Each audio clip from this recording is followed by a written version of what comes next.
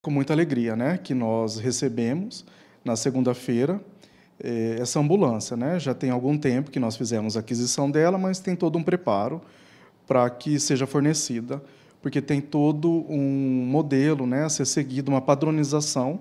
Ela tem que ser de acordo com o modelo exigido pelo Ministério da Saúde. Então, hoje nós temos aqui no nosso município eh, toda equipada e de acordo com as exigências, né? Do Ministério da Saúde. É importante a gente salientar que esta é uma ambulância do SAMU. Né? A gente sabe que a administração vem falando sobre a instalação do SAMU aqui no nosso município. Seria o primeiro passo? Sim, é o primeiro passo. Né? Então, existe todo um cronograma a ser seguido. Demos o primeiro passo e agora estamos seguindo, aguardando a liberação da, dos próximos a serem seguidos. A próxima meta é o treinamento da equipe que acredito que seja feito um treinamento no próximo mês.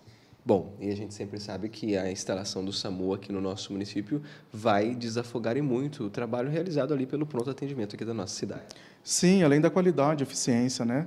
É, hoje nós já temos um atendimento de qualidade, desafogando ainda mais o nosso pronto atendimento, né? Seria mais uma equipe para somar com o atendimento e o acesso mais rápido para porta de entrada no nosso pronto atendimento.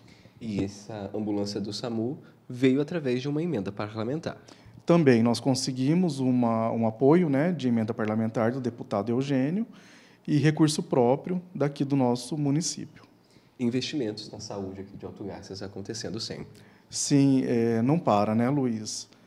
Mais uma vez, o município preocupado né, com a saúde e bem-estar da nossa população, fizemos, juntamente com o deputado, a aquisição de mais uma ambulância.